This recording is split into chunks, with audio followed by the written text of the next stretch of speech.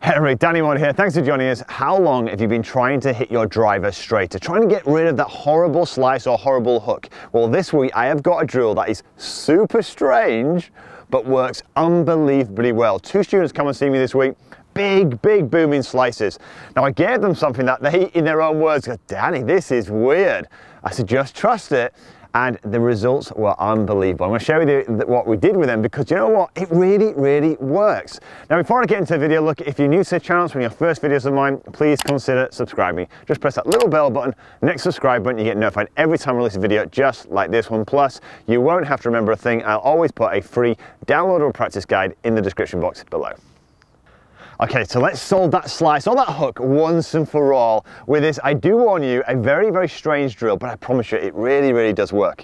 So Roger and Richard both come and see me with a great big booming slice. So what we're gonna do is I'm gonna show you step by step what we did with them because you know what? It works and it turned their slice into a draw. In fact, they were drawing it for the first time. So here's what we did step by step.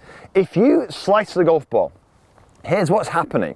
And the same way that everybody does this. Three components. You get over here. Let's talk about left side, your lead side here. This starts to get crunched in, so we're getting some bend in here. Your trail side works over, so this right side here for me is coming over, and then you get this kind of flicky motion here. So it's not very powerful. The face is coming across the line of the golf ball, and we blade or we slice that golf ball here. So all we got to do is simply tackle those components. But to tackle them, you have to exaggerate them hugely important. So if you watch plenty of YouTube videos, You've probably tried many things, but for some reason they're not working. And the reason why they're not working is because you don't, or I'm finding is golfers just don't exaggerate the motion enough. The reason being is, look, I'm going to give you something in a second. And when we do this, it's going to look strange on camera on purpose.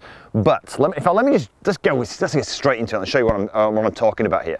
So we said the first component when you slice, you're getting stuck in here. So what I want you to do is this, through the impact area, you don't want to be here, we want to be here. All great ball strikers have this kind of lead side extending. So I want, I want you to do is exaggerate this motion lots. So what I did with, the, with uh, both Roger and Richard is this, I got them to feel what the impact was like. So I got them to really push like this. So they got lots of flexion in this side here, lots of extension, and it looked like this. Weird, yes? Did they look like this when I got them to do it? No, I just want them to feel like this. So this is why I'm showing you on camera. Do it, what you feel is an exaggerated where you won't, I promise you'll look anything like this, but really push it, extend and crunch. Now from here, you cannot slice. Why? Because slicers work over people who draw the ball and the ball strikers work under. Can you see the difference? So when this is extended, it's flexing, we're working under. Fantastic. So all I did was got them initially to just do this. Set up normally and then got them to do this. Feel what that was like underneath and then go back. Feel that was like here, underneath, then go back. Simple as that second set. In fact, to be honest, you could actually just hit some shots where you go extend, flex, feel what that's like, and then go into the shot, and then and just hit away.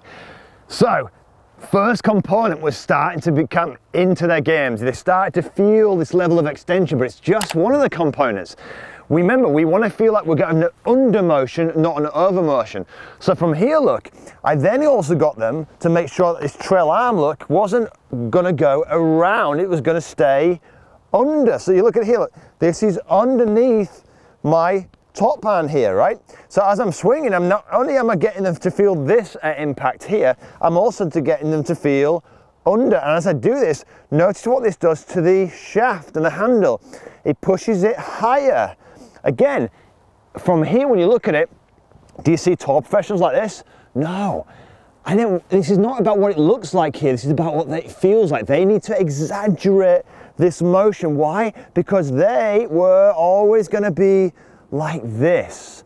And this is, again, repeating myself, but why we struggle sometimes from a YouTube video or a video that we're watching to make improvements because when you do something like this, it can, and you, you, you do it, think, that just feels weird, produces this ugly image of what it looks like in your mind, and then you don't do it. Really push it to the limit, counter what you normally do. So underneath here, handle way forward. So now look, I've got them to feel handles way forward into position, but what do you notice about the club face? It's open, it's pointing over there. So how do they square it from there? Yeah, watch. We don't square it with a over, we square it with, look at this. You see what I'm doing my wrists here? Feeling that squareness there comes from there, from the touch and the feel in the hands, yeah? You see that? Whereas most of the time, you're trying to, you're slicing the golf ball, you're trying to square it by with the trail side, working out, working around. Okay, so we've now got extension, we've got under here, we've got the handle forward, way too much. And the sensation now is this, to, for them to get this under motion, not allow this motion to happen here, really keep the handle ahead as they're doing it. So we went into that and they're going, as we're going on this, uh, working through this, both of them say to me, really? Are you sure? I said, go with it, trust me on this one. So balls forward with driver. And by the way, we'll discuss irons in a second. Handle way forward, feel it. And we got them into this routine here where we get extension, flexion, handle forward, feel like they're turning the knuckles down to the ground. Turning the knuckles down to the ground or the fingertips to the sky is feeling how they're closing the face. Yeah, they're closing the face without closing it with their shoulders or their arms. So they got this feeling, then look, they didn't stay there, they went back to their normal setup and then tried to repeat that feeling when they swung back. And if you see that on camera from me, I've created there a big looping draw, right? Maybe even too much for me. I'm a natural drawer. So this kind of thing, this exaggeration is a nightmare for me, right? Because it's not for uh, people who draw the ball, only for your few slice. But what it did for them, it made their slice swing turn initially into a little fade. Because even though we were exaggerating, do you think they got into all these positions for a great ball striker? No. But what they did, look, watch this they started to do this. As they exaggerated it, the swing impact position started to go like this. Gradually improving bit by bit by bit as they exaggerated more and more. And finally, they started to get into the under position to hit into this space where they're going to hit this wonderful, wonderful draw from. And that's what I want you to do. Now, we're gonna show you how you can build a routine to take straight to the golf course now and also give you something to feel as well, maybe when you're at home and to, to practice this. So what I gave with both uh, Roger and Richard is a real simple routine that yes, they felt was, God, that's a bit weird and, and a bit strange, but they did it and you'll see on camera, it didn't look very strange. So we got themselves set up here. I, uh, they got a feel impact position, so we got them to really extend. So they went extension, they went under, and then they went, feel the club face closed. Hold for half a second, feel it, then they would hit the shot.